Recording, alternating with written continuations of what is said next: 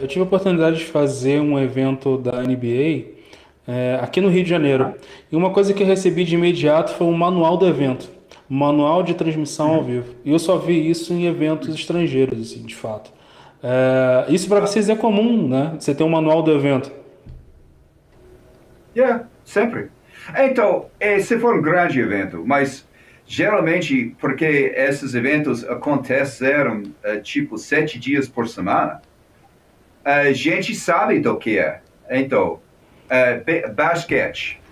Uh, tem duas câmeras para cima, uh, tipo onde fica tipicamente a cabine, mas a cabine onde ficam os narradores ficam no chão mesmo. Então, se um da home team e outro de visitante, e tem um câmera de mão abaixo de a cada basquete, talvez tenha uma câmera de mão no, no, no meio. Uh, tem uma câmera uh, chamada Slash, que está um canto do, do, do quadro, que está cruzando diagonalmente o quadro uh, para pegar imagens.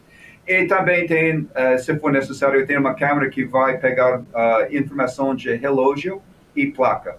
Placar e relógio. Mas só isso. Cinco câmeras, já, já está pronto. até sete. Futebol Bom, americano, esse grande jogo futebol, sete câmeras.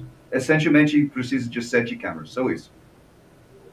O resto é para uh, mais sabor uh, mais uh, cobertura, mais detalhado.